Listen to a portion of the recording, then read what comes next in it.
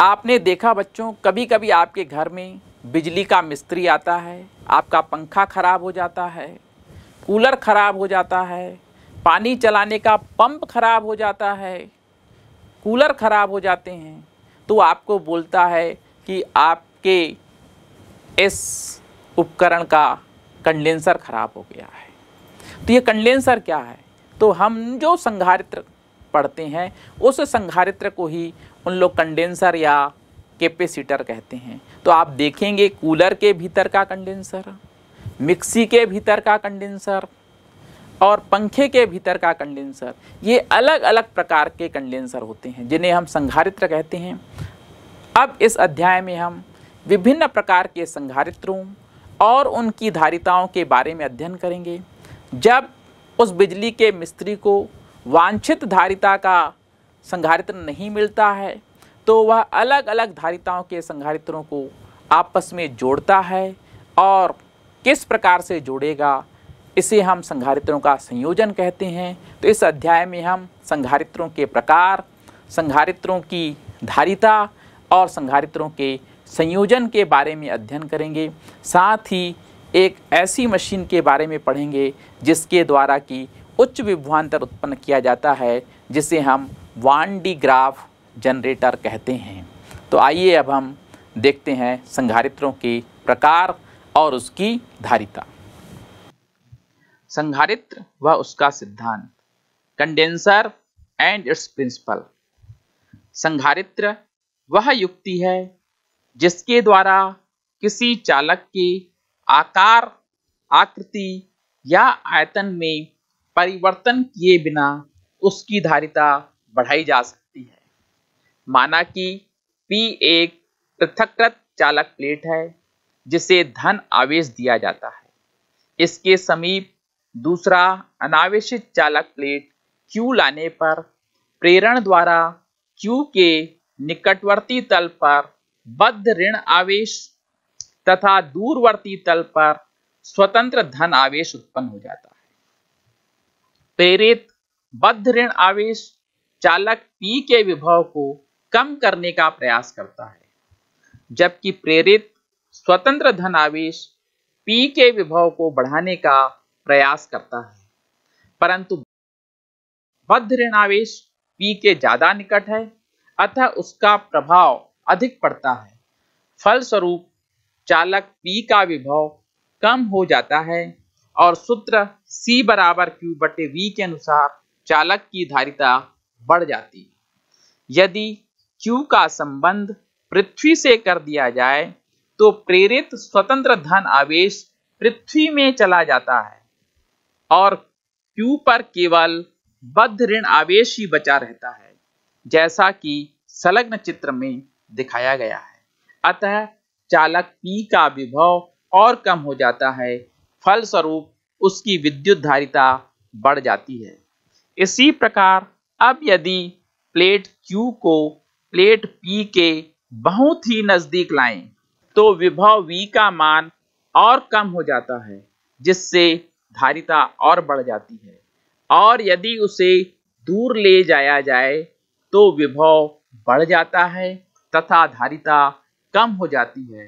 अर्थात चालक की धारिता में इच्छानुसार परिवर्तन किया जा सकता है। स्पष्ट है कि किसी आवेशित चालक के समीप पृथ्वी से संबंधित अन्य चालक को लाने पर आवेशित चालक की धारिता बढ़ जाती है। दो चालकों के इस संयोजन को ही संघारित्र कहते हैं। यही संघारित्र का सिद्धांत है। पी व क्यू को संघारित्र की प्लेटें कहते हैं। दोनों प्लेटों के बीच या तो वायु रहती है अथवा विद्युत रोधी पदार्थ जैसे अभ्रक, कागज़, तेल या कांच आदि रख दिए जाते हैं।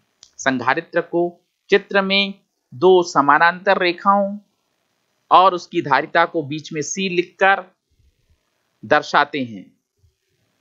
माना कि संधारित्र की पहली प्लेट P को Q आवेश देने पर उसका विभव V1 हो जाता है तथा प्लेट Q को ऋण Q आवेश प्रेरित होने पर उसका विभव V2 हो जाता है। तो P व Q के बीच विभवान्तर बराबर V1 वन माइनस वी अतः संधारित्र की धारिता C बराबर क्यू बटे वी वन माइनस वी यदि वी वन माइनस वी बराबर एक हो तो संधारित्र की धारिता C बराबर Q अतः किसी संधारित्र की धारिता उस आवेश के आंकिक मान्य के तुल्य होता है, जो पृथक प्लेट को देने पर दोनों प्लेटों के मध्य उत्पन्न विभवांतर में इकाई की वृद्धि करते। संधारित्र की धारिता को प्रभावित करने वाले कारक factors affecting the capacity of condenser पहला प्लेट का क्षेत्रफल संधारित्र की प्लेटों का क्षेत्रफल जितना अधिक होगा, उसकी धारिता उतनी ही अधिक होगी। प्लेटों के बीच की दूरी संधारित्र की प्लेटों के बीच की दूरी जितनी कम होगी, उतना विभवांतर में कम परिवर्तन होगा। सूत्र C बराबर Q बटे V one minus V two के अनुसार उतनी ही अधिक धारिता होगी। प्लेटों के बीच के माध्यम पर।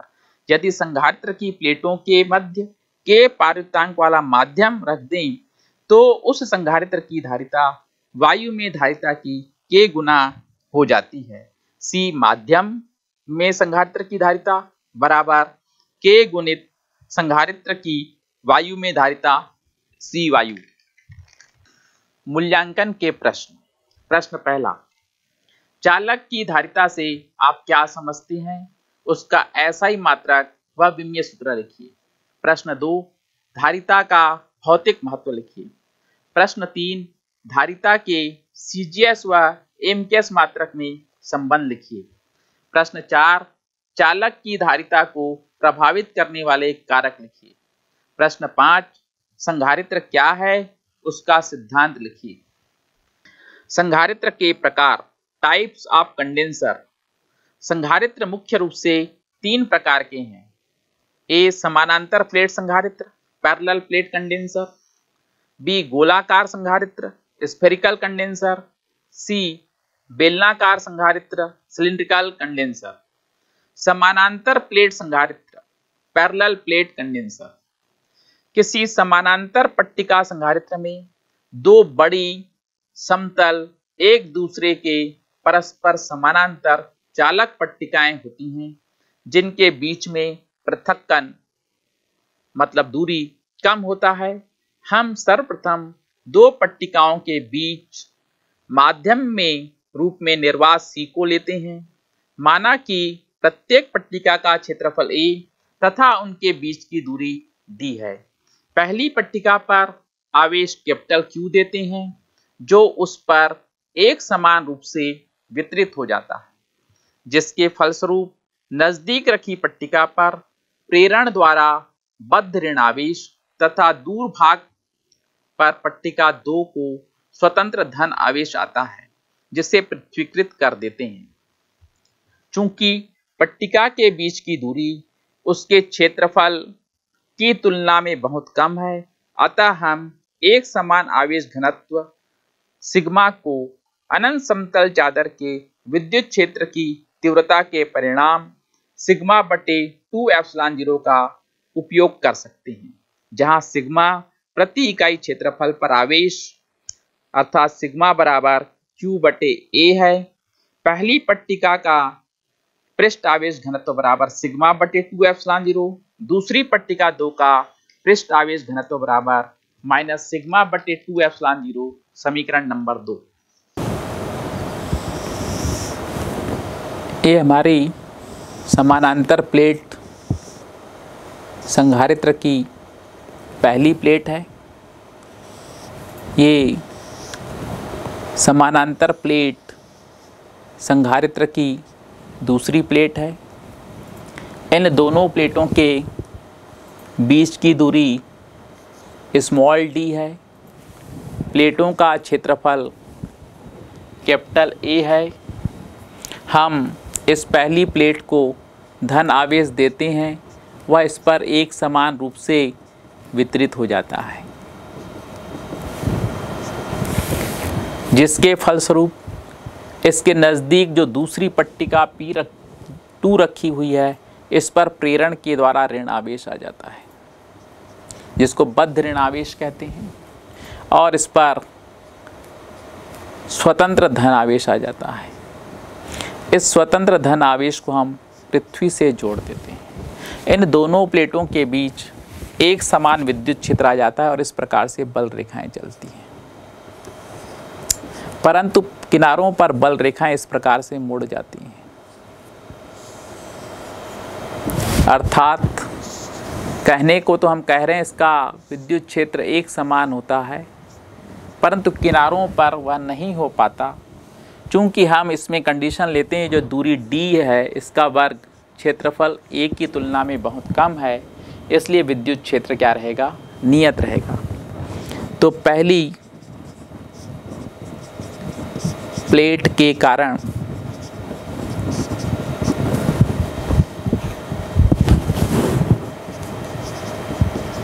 बाह्य क्षेत्र, एक ही वाला है, बाह्य क्षेत्र एक।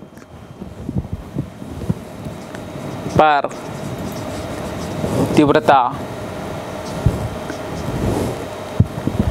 पहली प्लेट के बाहर ये जो क्षेत्र एक है, बाह्य क्षेत्र एक पर तीव्रता ई वन जो है, वह पहली प्लेट और दूसरी प्लेट,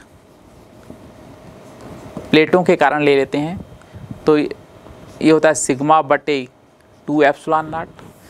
जो सिग्मा है, वह आवेश घनत्व है जिसका मान क्यू बटे ए होता है, प्रति इकाई क्षेत्रफल पर आवेश। दूसरी प्लेट में चूँकि इस पर ऋण आवेश है तो उसका हो जाएगा माइनस सिग्मा बटे टू एप्सलॉन नाट। तो ये ज़ीरो हो जाएगा। बाह्य क्षेत्र पट्टिका दो के नीचे का क्षेत्र ई टू बराबर, फिर पहली पट्टिका का माइनस दूसरी पट्टिका तो इन दोनों का विद्युत क्षेत्र ज़ीरो आ रहा है। परंतु दोनों पट्टिका के मध्य।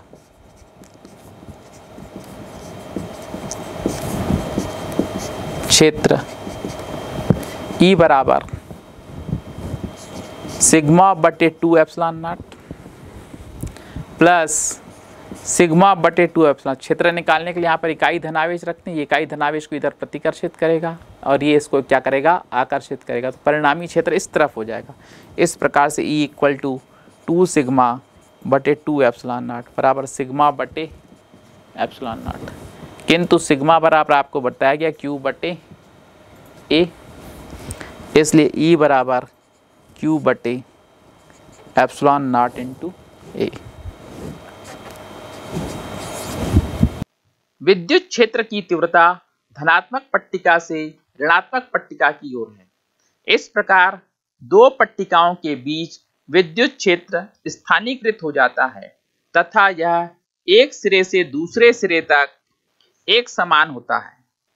परिमित क्षेत्र की पट्टिकाओं के लिए, पट्टिकाओं की बाहरी सीमा के निकट यह लागू नहीं होता है।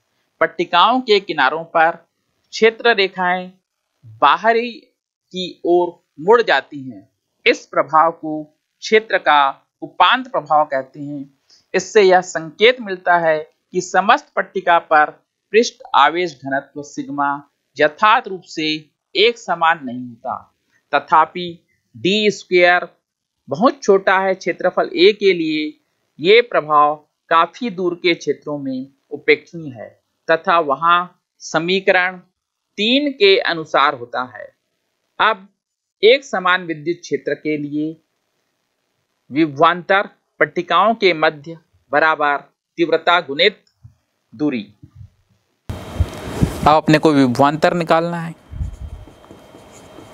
विभवांतर बराबर तीव्रता गुणित दूरी। तो समीकरण तीन से तीव्रता का मान रख दीजिए क्यू बटे epsilon not into A और दूरी है दोनों प्लेटों के बीच की, आप देख रहे हैं टी इसलिए धारिता सी बराबर क्यू बटे V one minus V two तो क्यू का मान क्यू हो गया विभवान्तर का मान आपने निकाल दिया दोनों प्लेटों के बीच। Q epsilon naught A into D Q को क्यू से डिवाइड कर देंगे तो आपका हो जाएगा एप्सलॉन नॉट ए बटे डी इसी को हम कहते हैं समानांतर प्लेट संघारित्र की धारिता। तो ये समानांतर प्लेट संघारित्र की धारिता का व्यंजक है, जबकि दोनों प्लेटों के बीच माध्यम वायु है। दोनों प्लेटों के बीच माध्यम वायु है तो धारिता का मान सी बराबर एप्सलॉन नॉट ए बटे डी इस प्रकार से धारिता देखिए, प्लेटों के क्षेत्रफल पर निर्भर है। जितना ज़्यादा क्षेत्रफल होगा, उतना अधिक धारिता होगी। और दोनों प्लेटों के बीच की दूरी जितनी कम होगी, उतना अधिक इसके धारिता का मान होगा। यदि आप दोनों प्लेटों के बीच कोई माध्यम रखना चाहें के पार विद्युतांक वाला तो ये के गुना हो जाती है धारिता। के एप्सलॉन नॉट ए बटे टी।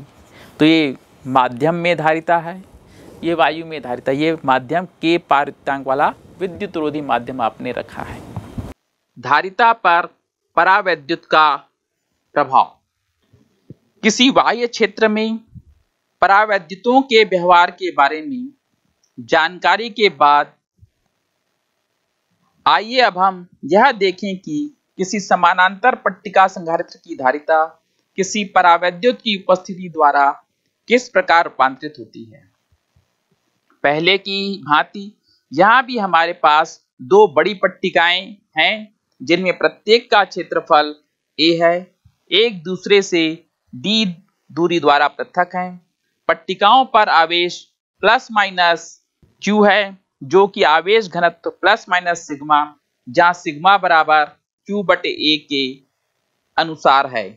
जब दोनों पट्टिकाओं के बीच निर्वात है, तब ई नॉट बराबर सिग्मा बटे एप्सलॉन नॉट तथा विभवांतर वी नॉट है। विभवांतर बराबर तीव्रता गुणित दूरी, इसलिए वी नॉट बराबर ई नॉट इंटू डी इस प्रकरण में धारिता सी नॉट है तो सी नॉट बराबर क्यू बटे वी नॉट वी नॉट का मान रखेंगे हम। और ई नॉट का तो आप देखिए यहाँ पर मान हो जाएगा एप्सलॉन नॉट इंटू ए बटे डी। इसके पश्चात हम उस प्रकरण पर विचार करते हैं जिसमें दोनों पट्टिकाओं के बीच समस्त क्षेत्र को किसी पार विद्युत द्वारा भर दिया गया है। क्षेत्र द्वारा समस्त पराविद्युत ध्रुवित हो जाता है, तथा जैसा कि ऊपर स्पष्ट किया जा चुका है, यह प्रभाव दो आवेशित चादरों परावैद्युत के पृष्ठों पर क्षेत्र के अभिलंबवत के समतुल्य है, जिनके पृष्ठ आवेश घनत्व सिग्मा पी तथा माइनस सिग्मा पी है। इस स्थिति में परावैद्युत में विद्युत क्षेत्र उस प्रकरण के अनुसार होता है, जिसमें पट्टिकाओं पर नेट आवेश घनत्व plus minus sigma minus sigma P होता है। अर्थात ई e बराबर सिग्मा माइनस सिग्मा पी बटे एप्सलॉन नॉट अतः पट्टिकाओं के सिरों पर विभवांतर v बराबर तीव्रता गुणित दूरी। समीकरण तीन से मान रखेंगे। ई का सिग्मा माइनस सिग्मा पी बटे एप्सलॉन नॉट इंटू डी रेखिक परावैद्युतों के लिए हम उपेक्षा करते हैं कि सिग्मा पी ई नॉट अर्थात सिग्मा के अनुक्रमानुपाती हो। इस प्रकार सिग्मा माइनस सिग्मा पी भी सिग्मा के अनुक्रमानुपाती है। तथा हम लिख सकते हैं कि सिग्मा माइनस सिग्मा पी बराबर सिग्मा बटे के यहाँ के माध्यम का परावैद्युत है, जिसका मान एक से अधिक है। इसलिए विभवांतर v बराबर सिग्मा डी बटे एप्सलॉन नॉट इंटू के हमने यहाँ पर मान रखा है। सिग्मा का मान q बटे A D epsilon naught into K पट्टिकाओं के बीच परावैद्युत होने पर इसलिए धारिता c बराबर q बटे वी b का मान समीकरण पाँच से रख दें तो ये आपका हो जाएगा क्यू बटे epsilon naught Q into D बटे A epsilon naught into K Q Q divide हो जा रहा है तो ये A epsilon naught K into A ऊपर चल देगा, नीचे बच जाएगा डी इसको हम एप्सलॉन नॉट इंटू के को माध्यम का परावैद्युतांक कहते हैं, जिसे एप्सलॉन के द्वारा दर्शाया गया है। निर्वात के लिए के का मान एक होता है, इसलिए के बराबर एप्सलॉन बटे एप्सलॉन नाट को पदार्थ का परावैद्युतांक कहते हैं, जैसा कि पहले ही बताया जा चुका है। ए का मान एक से अधिक होता है। इस प्रकार किसी पदार्थ का पारवैद्युतांक एक कारक है, जिसके द्वारा जब किसी संधारित्र की पट्टिकाओं के बीच कोई परावैद्युत पदार्थ पूर्णतः भर दिया जाता है तो उसके धारिता के मान में निर्वात के मान से वृद्धि हो जाती है। यद्यपि हम समानांतर पट्टिका संधारित्र के प्रकरण के लिए समीकरण नौ पर पहुँचे हैं, तथापि यह हर प्रकार के संधारित्रों पर लागू होता है, तथा वास्तव में इसे व्यापक रूप में किसी पदार्थ के परावैद्युत की परिभाषा के रूप में देखा जा सकता है। आंशिक रूप से परावैद्युत पदार्थ की उपस्थिति में समानांतर प्लेट संधारित्र की धारिता, माना कि P और क्यू दो समानांतर प्लेटें, संधारित्र की दो प्लेटें हैं, जिनके बीच की दूरी d है। प्रत्येक प्लेट का क्षेत्रफल a है। दोनों प्लेटों के बीच के परावैद्युतांक की टी मोटाई वाली प्लेट उनके समानांतर रखी गई है।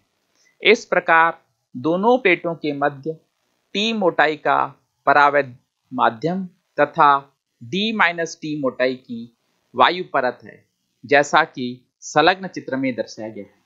प्लेट पी को स्मॉल क्यू आवेश देने पर क्यू के समीपवर्ती तल पर प्रेरित ऋण क्यू आवेश बद्ध हो जाता है तथा दूर भाग पर प्रेरित धन आवेश स्वतंत्र है, जिससे पृथ्वीकृत कर देते हैं। यदि आवेश का पृष्ठ घनत्व सिग्मा बराबर क्यू बटे ए समीकरण एक है ये समानांतर प्लेट संधारित्र की पहली प्लेट पी है, जिसको हम क्यू आवेश देते हैं। इनका क्षेत्रफल ए है। एक दूसरी प्लेट जो इसके नज़दीक रखी गई है क्यू इस पर प्रेरण के द्वारा प्रेरित ऋण आवेश आ जाता है। दूर वाले हिस्से पर प्रेरित धन आवेश आ जाता है, जिसको हम पृथ्वीकृत कर देते हैं। दोनों प्लेटों के बीच माध्यम वायु है, दूरी डी है। अब हम इन दोनों प्लेटों के बीच के पार विद्युतांक वाला टी मोटाई का पदार्थ रख रहे हैं। ये पार विद्युत माध्यम रख दिया, जिसका पार विद्युतांक के है और इसकी थिकनेस टी है। तो माध्यम हो गया टी मोटाई का। इसलिए वायु हो जाएगी डी माइनस टी में।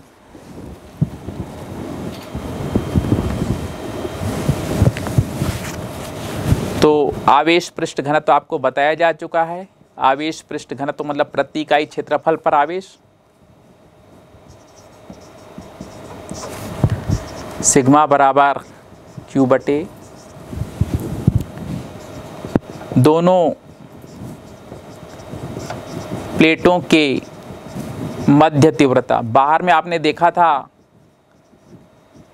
इधर और इधर तीव्रता ज़ीरो थी तो मध्य में तीव्रता आई थी, वायु में पहले निकालेंगे। ई नॉट बराबर सिग्मा बटे एप्सलॉन नॉट दोनों प्लेटों के मध्य माध्यम में तीव्रता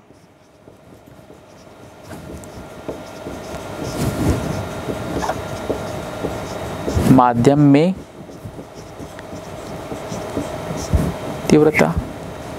ई मीडियम ये आपका हो जाएगा सिग्मा के पार विद्युतांक वाला पदार्थ है के से डिवाइड हो जाती है, तीव्रता घट जाती है। अब प्लेट प्लेटों पी व क्यू के मध्य विभवान्तर निकालना है। तो ये भी वायु में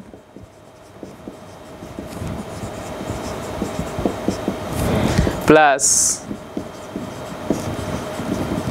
माध्यम में विभवान्तर तो वायु में विभवान्तर के लिए तीव्रता गुणित दूरी, माध्यम में विभवान्तर के लिए तीव्रता गुणित दूरी। सिग्मा बटे epsilon naught into D. Sigma बटे K epsilon naught D minus T. तो आपका सिग्मा बटे एप्सलॉन नॉट बाहर निकल जाएगा। तो आपका हो जाएगा डी प्लस वायु तो डी माइनस टी में है सॉरी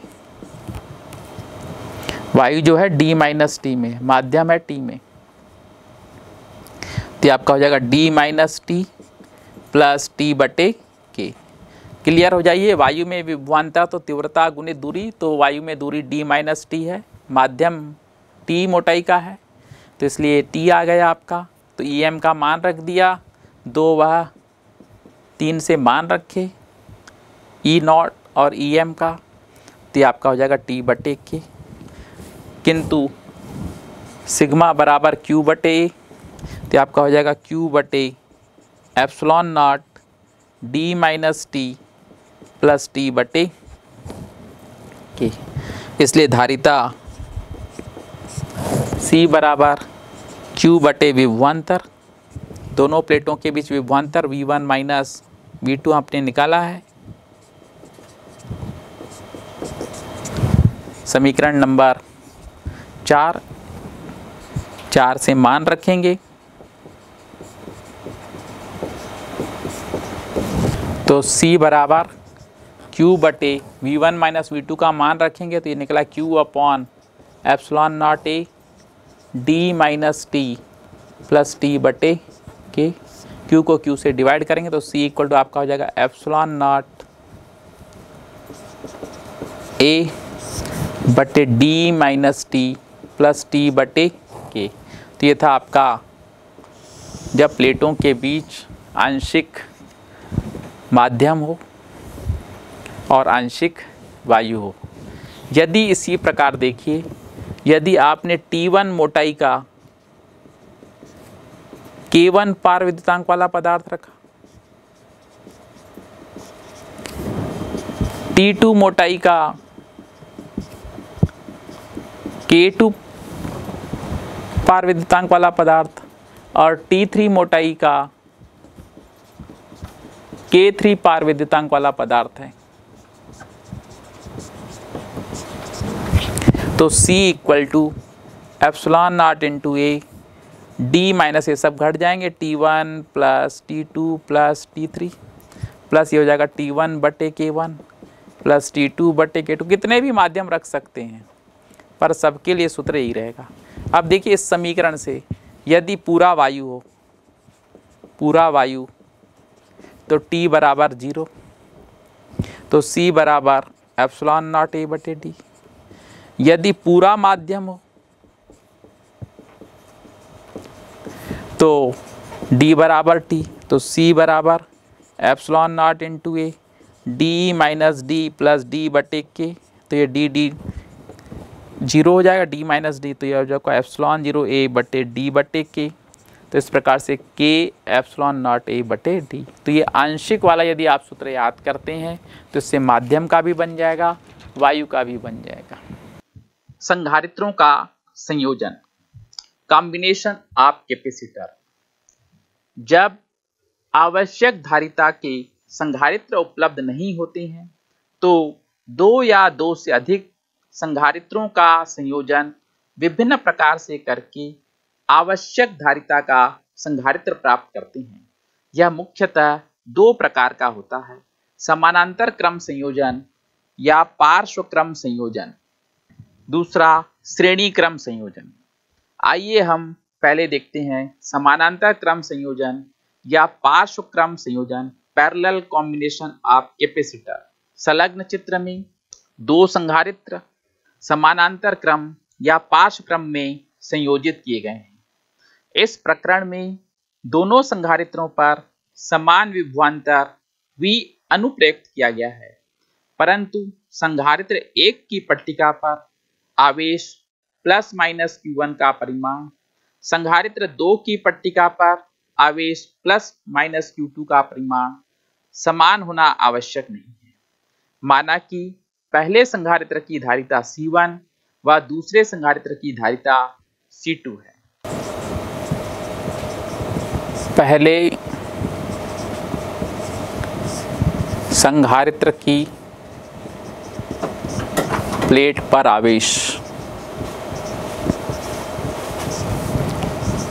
Q1 बराबर सी वन वी दूसरे संधारित्र की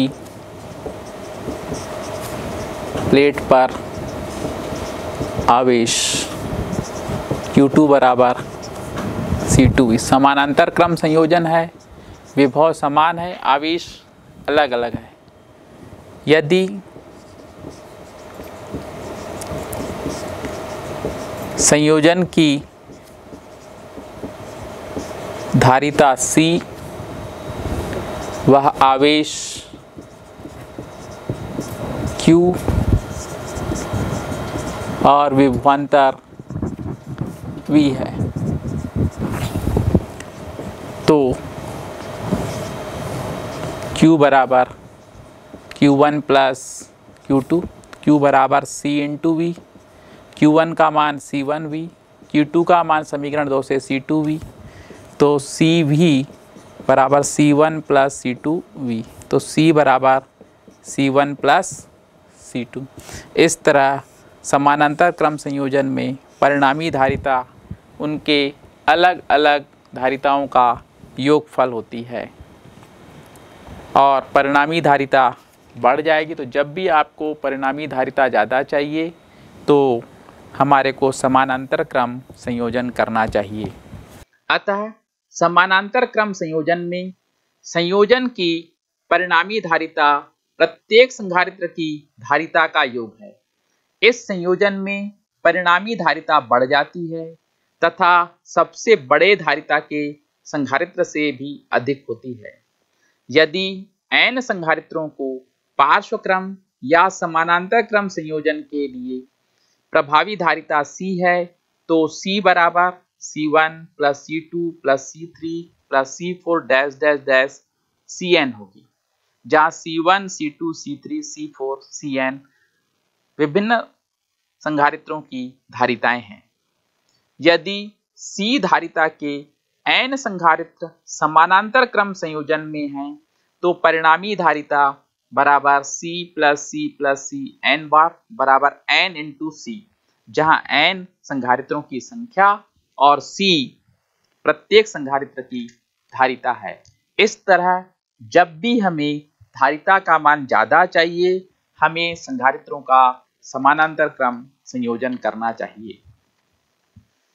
श्रेणी क्रम संयोजन सीरीज़ कॉम्बिनेशन संलग्न चित्र में दो संघारित्र जिनकी धारिता C1 व C2 है, उन्हें आपस में श्रेणी क्रम में संयोजित किया गया है। C1 की बाई तथा C2 की दाई पट्टिका बैटरी के दो टर्मिनलों से संयोजित है, तथा उन पर धन Q तथा ऋण Q आवेश हैं। इसका अर्थ है C1 की दाई पट्टिका पर ऋण Q आवेश तथा C2 की बाई पट्टिका पर धन Q आवेश है। यदि ऐसा नहीं है तो संधारित्र की दोनों पट्टिका पर नेट आवेश शून्य नहीं होगा। इसके परिणाम स्वरूप C1 तथा C2 को संयोजित करने वाले चालक में कोई विद्युत क्षेत्र होगा तथा C1 व C2 में आवेश उस समय तक प्रभावित होगा, जब तक कि C1 तथा C2 पर नेट आवेश शून्य नहीं हो जाता। तथा C1 व C2 को संयोजित करने वाले चालक में विद्युत क्षेत्र शून्य नहीं होता। अतः श्रेणी क्रम संयोजन में प्रत्येक संघारित्र का दोनों पट्टिका पर आवेश प्लस माइनस क्यू समान होता है। संयोजन के सिरों पर विभवांतर V संधारित्र C1 तथा C2 के सिरों पर विभवांतर क्रमशः V1 व V2 का योग होगा। C1 के सिरों पर विभवांतर। V1 बराबर Q बटे C1 श्रेणी क्रम संयोजन है, इसलिए विभव अलग अलग होगा, आवेश समान होगा। C2 के सिरों पर विभवान्तर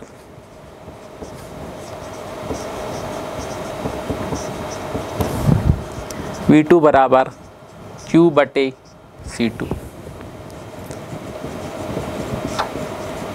संयोजन की धारिता सी विभव वांतर वी वह आवेश क्यू हो। तो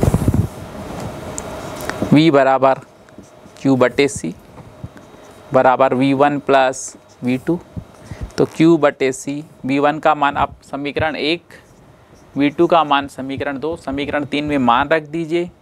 क्यू बटे सी वन क्यू बटे सी टू या क्यू अपॉन सी क्यू को कॉमन निकाल दिया।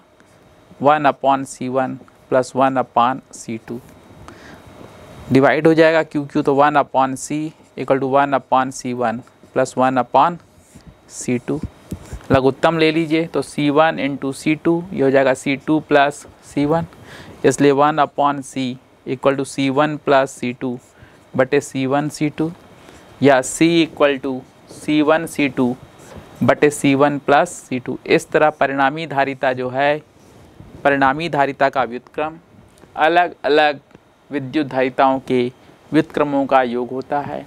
इसलिए श्रेणी क्रम में परिणामी धारिता घट जाती है। तो जब भी हमारे को धारिता कम चाहिए तो श्रेणी क्रम संयोजन, वांछित धारिता के संधारित्र से कम धारिता का संधारित्र चाहिए तो श्रेणी क्रम संयोजन करना चाहिए। और वांछित धारिता से ज़्यादा धारिता का संधारित्र चाहिए तो समानांतर क्रम संयोजन करना चाहिए।